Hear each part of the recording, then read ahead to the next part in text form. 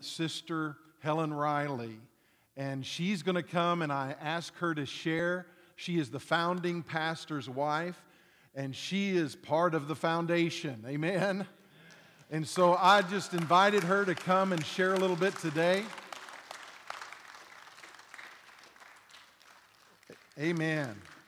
Let's show her how much we love her today.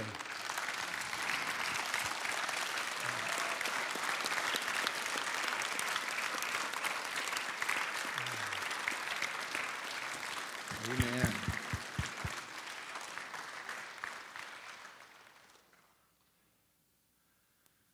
I told her to just let you have it today. Good morning. It's an honor and a humble privilege to be here today. I'm thankful to be here. I'm thankful what this church has meant and what it does mean and what it's going to be yet in the future. Great hopes. I know I got a few pages here, but don't be scared. I can read fast.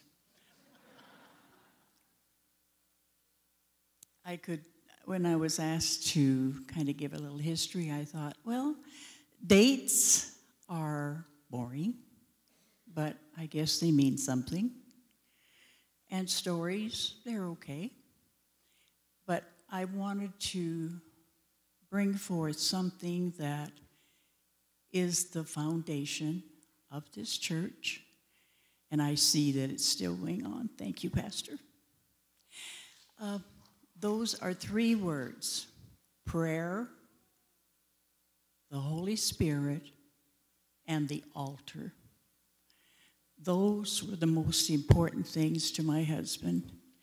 And I know when if he'd been here this morning, he would have been very pleased with your worship to God. Um, the altar was something that he really focused in on. And as I try to tell a little bit of the story, I hope my desire is that you will go away thinking prayer, the Holy Spirit, the altar. Um, to give you a little background, my husband came from the other end of the United States, Texas. I was raised here in the valley. He was from a Christian Pentecostal home. I was not. I was raised in a non Christian home, but my mom believed in God at least and told me in German, Liebe Gott, bestraft. That means if you don't behave, God will punish you. That's who I thought he was. Thank God I found different. So, Paul's parents had met Jesus before he was born. He had two older brothers. And it was through a neighbors of theirs that they invited him to their house and they began talking to them about the Bible. And they had some questions and they said, Well, why don't you come with us to church? And the pastor can tell you better. They did. The first night they got saved and filled with the Holy Spirit. Knew nothing, but they received. So when Paul was born, his mom, um, he was born at home, never had a birth certificate. We had to prove how old he was somehow. Um, and she never had any pain, nothing when he was born. She was speaking in tongues and he came. And she always called him, she always called him her Holy Ghost child, her Holy Ghost child. Well, that proved to be true. So, somewhere along his life, God directed him to here. Um, I came from the opposite end, like I said. My bus driver was the, the one that actually brought me to the Lord. He was also an Assembly of God children's home worker or owner or operator on Fishhook in Palmer. And some of the kids in that home were my age, and one of the girls invited me over for a weekend. I went, and I was amazed. They prayed at the table, they read the Bible, and I thought, wow, I like this. It wasn't very soon I was going to church with them and received the Lord into my life. Thank God at the age of 13. What a time to be saved. So, time went on. Uh, that bus driver also became our main mentor in building the church. He wasn't afraid to step out on faith at all. So, in the summer of 1951, after Paul had spent three years in California at Bible School, Bethany, um, see if I can handle this. we started the church, as was told this morning, in the old community hall, the log building. We asked May Carter, who was uh, kind of in charge of the town, and she said, "Yeah, you can you can use it. We won't charge you rent, but you'll have to clean up and everything." And uh, it was okay. We weren't born with silver spoons in our mouth, and so that was that was okay. And people started thinking, "Hmm, who are these people?" I think they're holy rollers. And so as we were using that building. It had a big door on the back.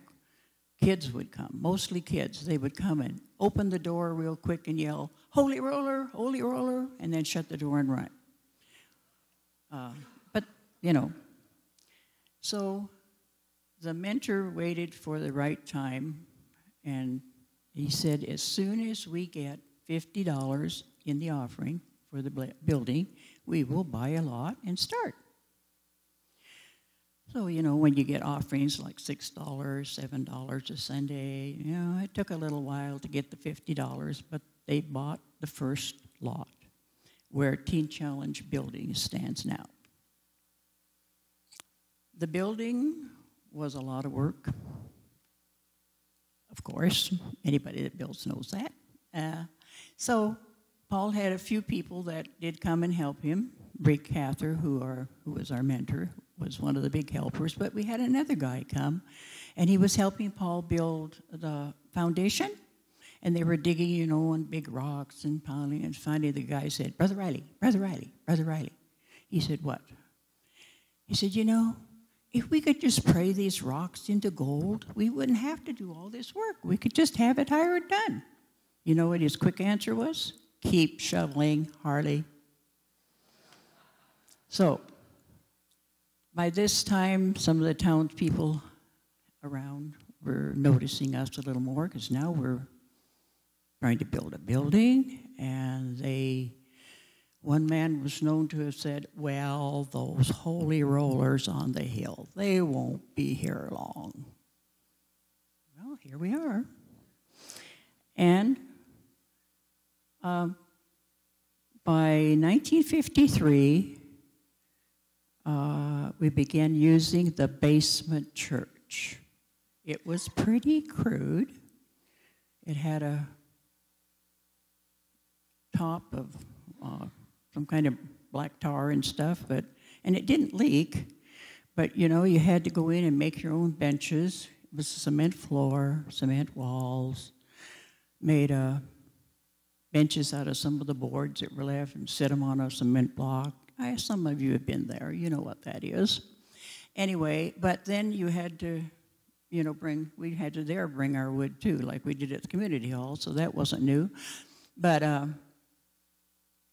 because you built the, the, you know, the wood stove going and it got warm in there, there was condensation. So it would be profitable if you brought your umbrella because the water started dripping from the ceiling you had you had to hold your coat over your um, songbook. You used songbooks in those days. didn't keep them from getting wet. So the basement then was improved. We had three rooms. One was a kitchen, two were Sunday school rooms, and one large room for the fellowship hall. Easter, we had the first service in the improved building. By 1958, the first service was held upstairs in, in the chapel that's there now. And by now, um, we had hired a local carpenter to put up the rafters. He was the one that did all the carpentry work in the valley. He built people's caskets if they died, and he built whatever they needed, and so that, you know, that was acceptable. But something was terribly wrong with the rafters. A man and his family started coming to church and said, I can fix that. He did. He came every morning with his lunch pail, worked eight hours, and never asked for a cent. I know that angels come in different forms, and that time it was in the form of this man and his family, because he wasn't there that long after that. They were gone. But that was a God thing. Then let's see. Our family, by 1959, moved into the basement in those three rooms. It was an upgrade for us. We had been living on the original colony farm where I was raised in a made over barn. So my kids weren't born in a barn, but they lived in one. Um, by then, the community had accepted us as part of the community because obviously we were not leaving. We became jack of all trades. My husband worked in the Teeland store. Uh, his mom, who lived here then, was the cook at the school, and sometimes the other cook didn't come. She was not fit to come. So we went down and worked in the kitchen to help her. Then um, different little jobs and things came up, school bus driving, and I ended up somewhere along the road doing bookwork for the Teeland store. People said, well, seemed like you can do about anything. I said, when are you going to attend bar? We said, no, that's where we draw the line. We're not doing that.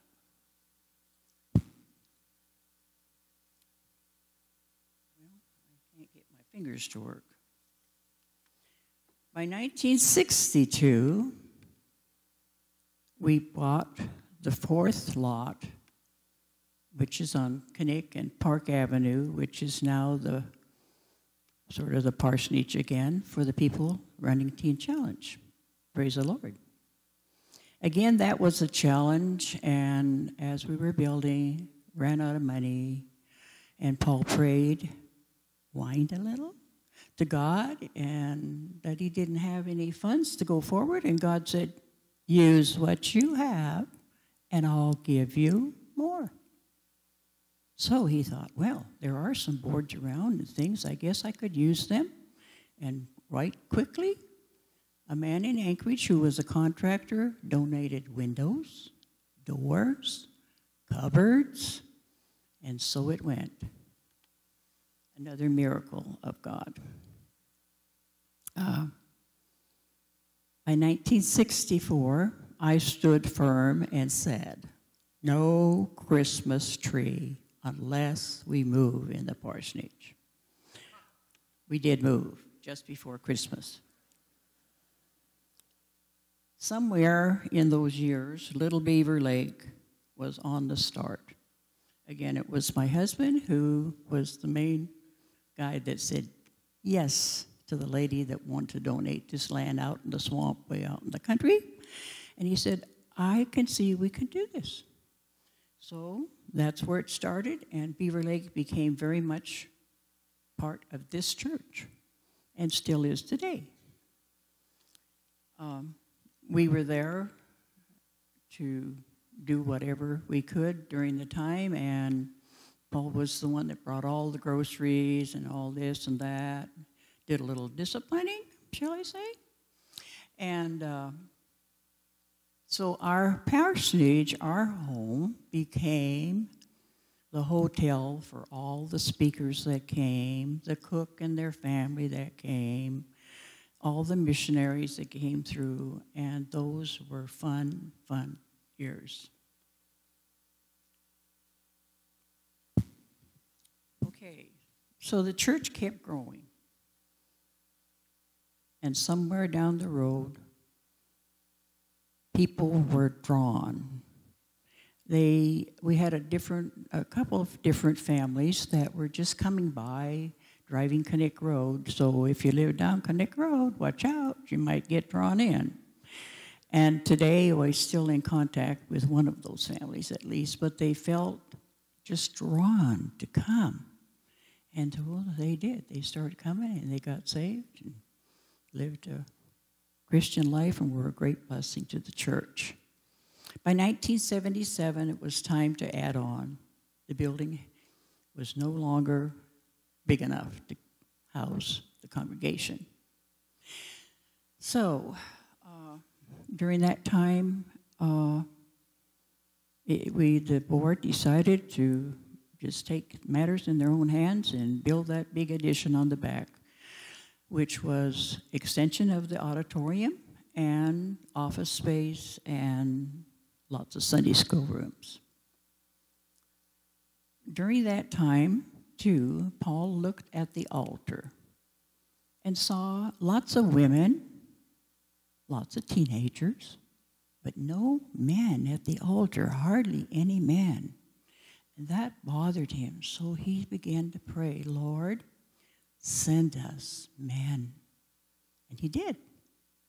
One morning he looked out there and he thought, wow, there's 12 guys out there. That's awesome. The working of the Holy Spirit again. Then, needing more room, things kept growing. This property was bought. A huge step. One of the steps was to try to borrow money. A million dollars, to be exact. So he went to, to the local bankers downtown, thinking, well, we've been here a long time. Maybe they'll realize we could do this. And the banker said, How do I know you'll be here?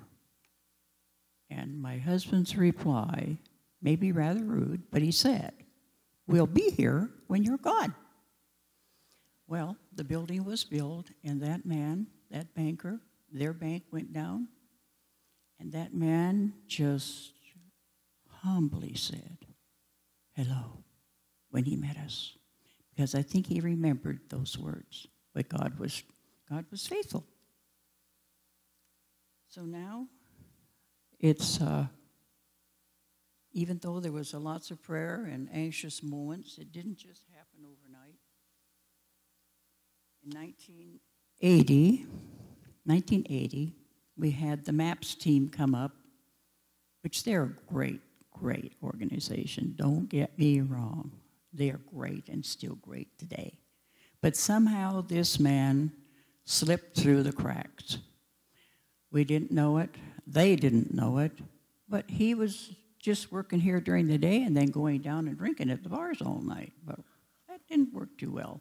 Made some horrible mistakes, and the back wall underneath the fellowship hall, to us it was the wailing wall because he decided, oh yeah, we can backfill, and the whole thing started falling in, and everything like that, and it was a panic. And then we found out the truth and thought, oh no what are we going to do? Well, we had some awesome workers that were part of this church that said, no, we got to take this wall down. We've got to build it up. We've got to do, I don't know what all they had to do. But, of course, we fired the man.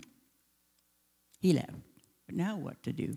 Now here, you're in a building and nobody to do it.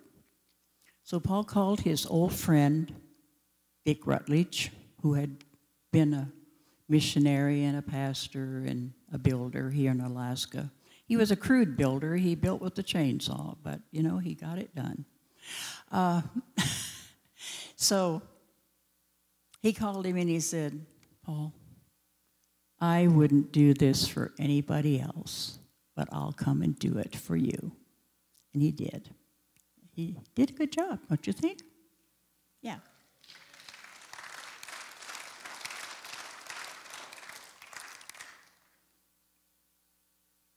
Okay.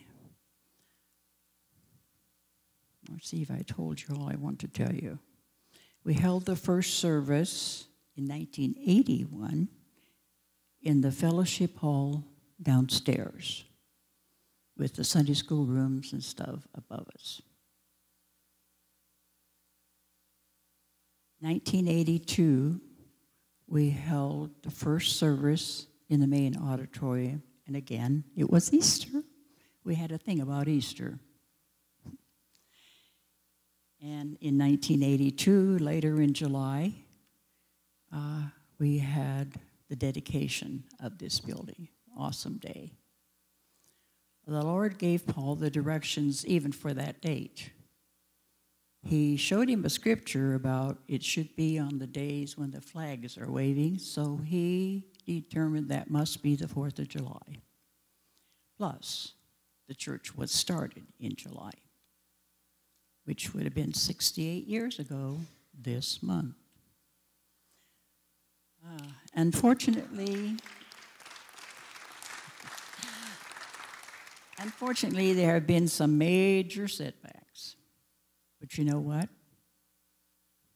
God is a redeemer. He's a redeemer of lives. He's a redeemer of situations. He's a redeemer. He is a redeemer. That's why he came. And thank God he sent Pastor Melt and his lovely wife and yeah, his family. And and I'm so grateful that they able and willing to answer that call. You know, it takes a call. If God calls you to do something, you best do it. So I guess that's what I wanted to say mainly, and that I want you to be sure to remember those three things. Prayer, that was. If you thought of him, you thought of prayer. He preached the word in its fullness, which included the Holy Spirit. And the altar was an important, important part of his life. Um, he had a vision before he passed away about this church, and he saw coming down the aisle a river of blood. And everybody who touched that was healed spiritually, physically, and all, all of that. And so he took that to mean God had big, awesome plans for this house. His love was to see this place used all the time for not just the congregation, but the community, because it's big enough, and that it would be truly a service to God and the valley. Yes, for the whole valley. He loved the minister's prayer. He would go to that every Thursday if he had to crawl there. I mean, really. Because that was his heart, and that's mine. And I know that God's going to answer all those prayers and all those things and all those times. They were not in vain. God has mysterious ways of working. I've been singing a little chorus for months, I guess, to myself. And it goes like this Come, Holy Spirit, I need you. Come, sweet Spirit, I pray. Come in your strength. Come in your power. Oh, yes. Come in your own gentle way. May this continue. I'm glad to see it.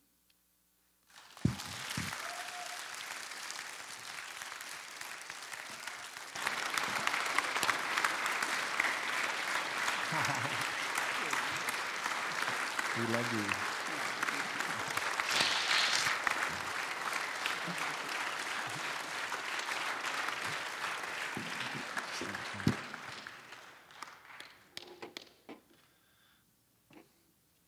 Amen. Aren't you thankful for Sister Riley today? Amen. Amen. You may be seated. I'm not going to preach today. I had planned to continue in our fourth commandment today, but I wanted to give Sister Riley all the time that she needed today. But I will say this as she was speaking, I was reminded of Ephesians chapter 3, verse 20. Now, to him who is able to do exceedingly abundantly above all that we ask or think, according to the power that works in us. To him be glory in the church by Christ Jesus, to all generations forever and ever. Amen. Pastor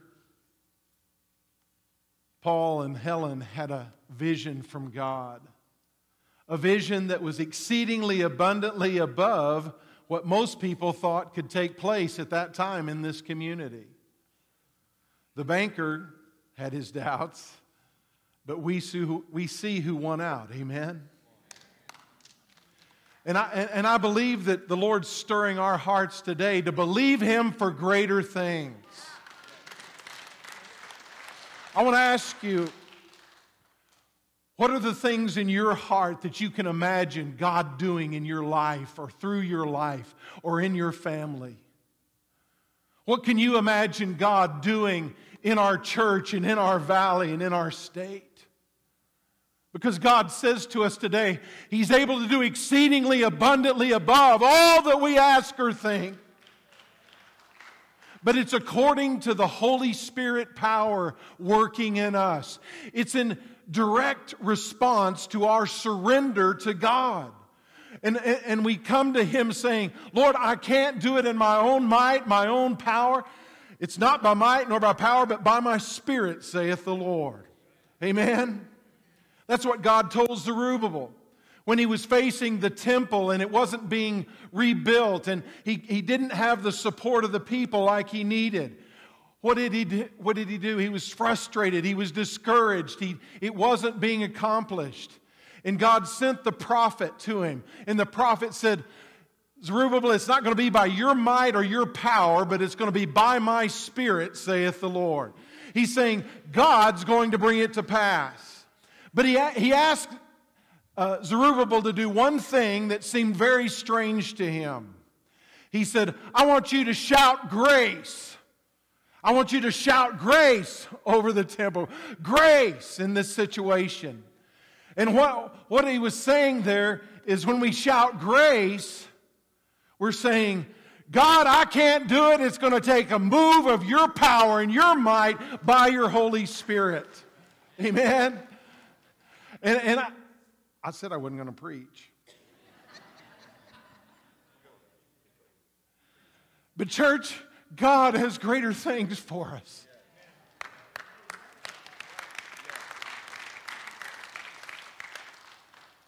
God's done amazing miracles, and Sister Riley shared just a few of those.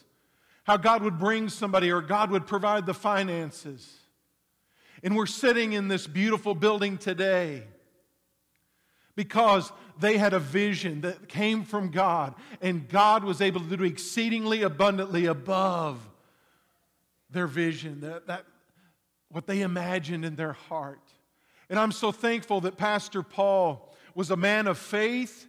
He was a man that loved God. He was a man that didn't compromise. He was a man that preached the whole counsel of God.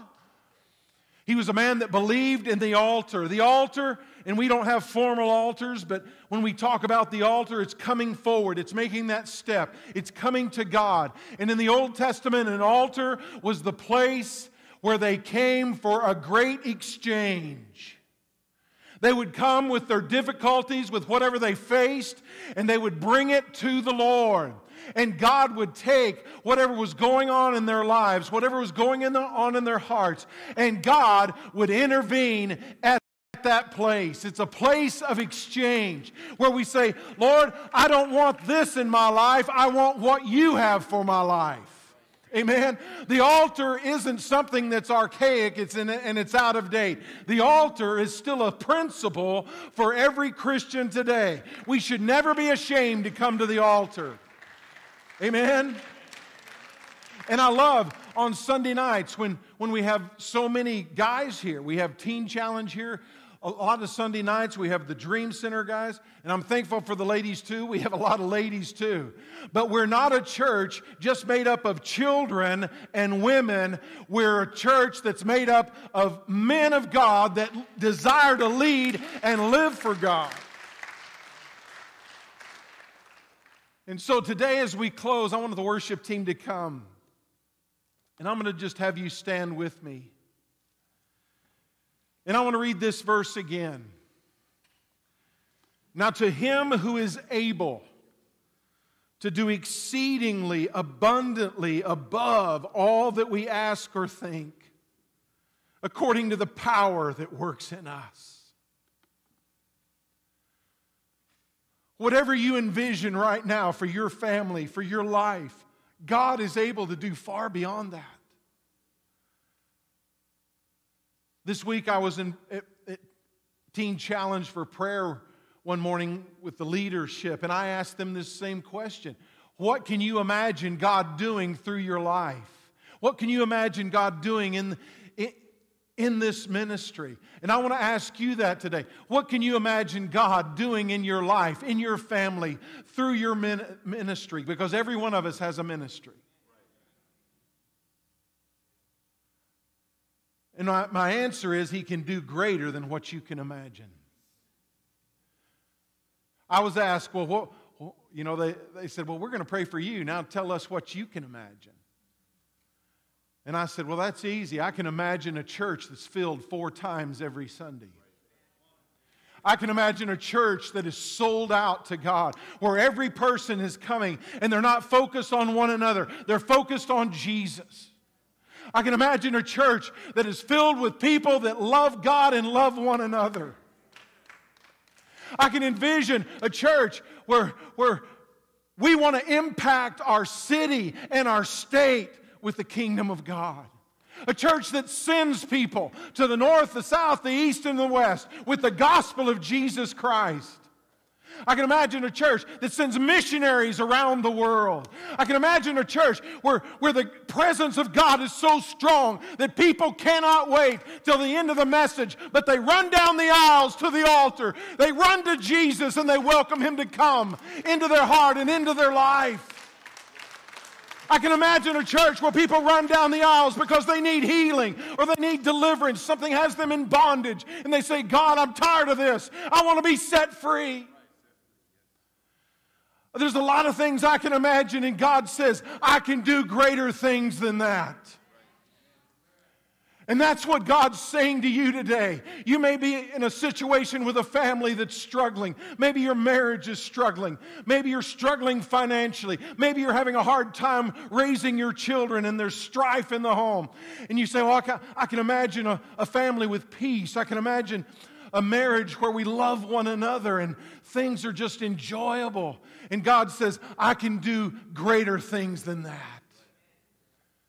You may imagine, well, I can imagine having a good job where I can pay all the bills. And God says, I can do greater things than that. You may be here and you may say, I can imagine being set free from alcohol or drugs or pornography or other life controlling things. And God says, I can do greater things than that.